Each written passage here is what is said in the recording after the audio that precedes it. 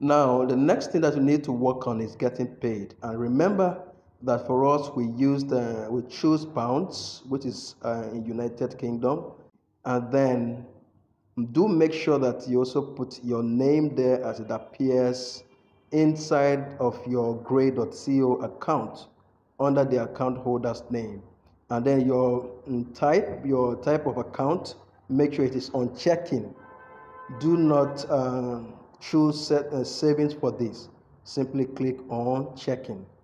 And like i said before you need to include your legal name right there uh, in order to continue with the process and then your the type of account you should leave it on checking. And then when it comes to um, adding your united uh, kingdom bank account here uh, you don't include a lot of other details all that they require from you is just your iban number and your bic code. This bic code is just the same as swift code. So when you get to uh, where they ask you for IBAN number, do well to make sure that you log into your your grey.co account to get first those details and then you add them right there. So I'm going to go ahead and add the account holder's name and then I will also log into my grey.co account to be able to locate my IBAN number and add it right there and then also add the Swift code, which is in other words known as the BIC code.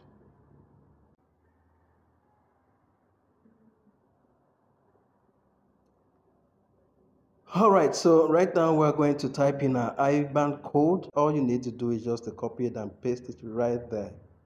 But for the purpose of this video, I'm going to be typing in right here.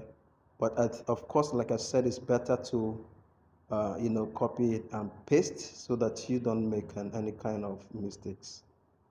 For emphasis sake, I will recommend that you log back into your grey.co account. Then you click on account and report. And once you click on there, you will now see that the details of your account will be displayed, which is your pounds account. So you look through those details and then see where it is written IBAN number. I think it's about um, 16 to 17 characters. That is what you're going to copy and then come back here and paste in as the IBAN number. I hope that's clear.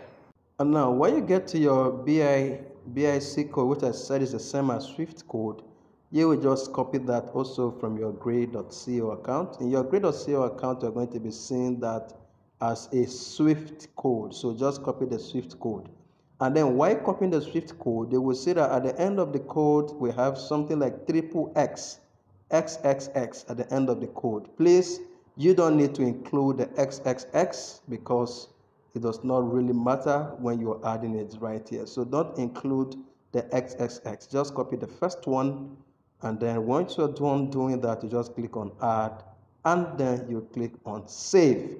And that is how you are able to add your account um, details onto the Amazon platform and congratulations for that.